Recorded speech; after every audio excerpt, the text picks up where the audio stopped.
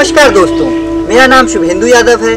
मैं Mukta Mahila milk producer company limited में PIB executive के पद पर हूँ। आज हम आपको लेके चलेंगे सागर ज़िले की जैसी नगर तहसील के एक छोटे से गाँव सागौनी खुर्द में, जहाँ की महिलाएँ पशुपालन के ज़रिए न सिर्फ़ अपनी जीविका चला रही हैं, तथा दुग्ध उत्पादन को उन्होंने अपना एक मुख्य व्यवसाय बना लिया है। तो आइए चलते हैं सागोनी खुर्द गाँव में और मिलते हैं उन्हीं सशक्त महिला दुग्ध उत्पादकों में से एक आशा रानी यादव से और सुनते हैं उनसे उनकी सफलता की कहानी, उन्हीं की जुबानी।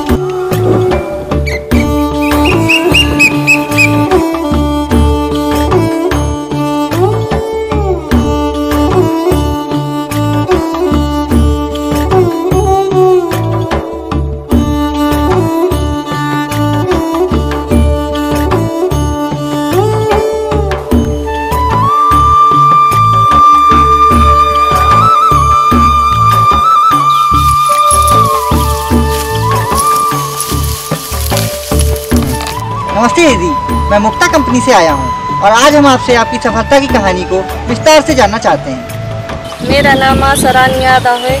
मैं सागौन खुर्द की रहने वाली हूँ। मैं मुक्ता डेयरी में 2019 से जुड़ी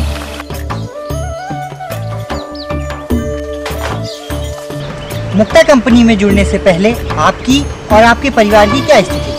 मेरा गाँव बहुत पिछड़ा हुआ था। हमें ये जानकारी नहीं थी। अच्छे पशुपालन कैसे किया जाता है बच्चों को अच्छी शिक्षा नहीं दे पा रहे अपनी ज़रूरतों को अच्छे से पूरा नहीं कर पा रहे मुक्ता कंपनी की तरफ़ से आपको कौन कौन सी सुविधाएँ दी जाती हैं? और आपको इनसे क्या क्या लाभ दूध की कमाई से ट्रैक्टर खरीदने में परिवार की मदद की। आज हमारे बच्चे अच्छे स्कूल में पढ़ने लिखने जा रहे मुझे अच्छी खुशी पहली साल मुक्ता डेयरी पर पचास हज़ार का दूध बेचा।